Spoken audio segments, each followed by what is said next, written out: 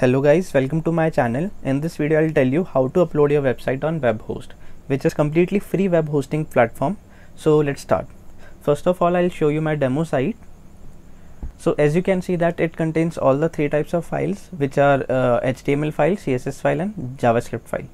And uh, let me show you how it looks like. Let me run it on a live server. So it looks like this now I'm going to upload this on webhost. So in order to do this you just need to go to the webhost.com and just sign in your account. And if you do not have your account then create one.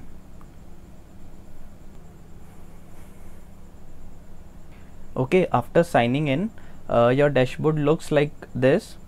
So you need to just click on the create new site button. And uh, you have to choose your password and if you want to choose your uh, own domain name or uh, website name you can choose whatever you want according to you. And if you leave this blank then it will automatically pick one for you. So i'm gonna leave it blank. And i'm click i'm gonna click create. So as you can see that my site is successfully created and the url of my site is this. So let's open this url and see what happens. So as you can see that this is our site and obviously you see nothing because you haven't uploaded any uh, files yet. So you can see that you see this page because uh, your website doesn't have index.php or index.html file. So let's let's upload this file. So in order to upload this file you just need to uh, click on manage website.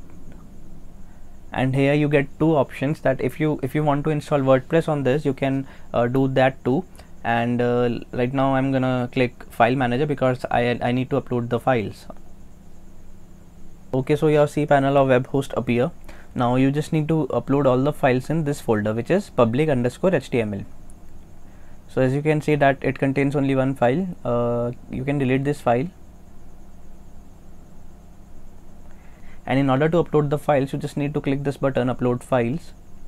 And you just need to select files. I'm gonna select all my files and upload it.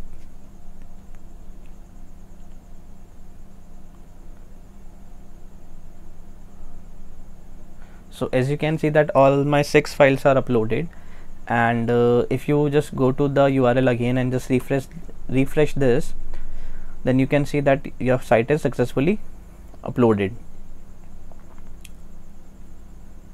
okay so you can upload your site like this I hope you liked the video and if you do then please hit like and subscribe button. Uh, thanks for watching.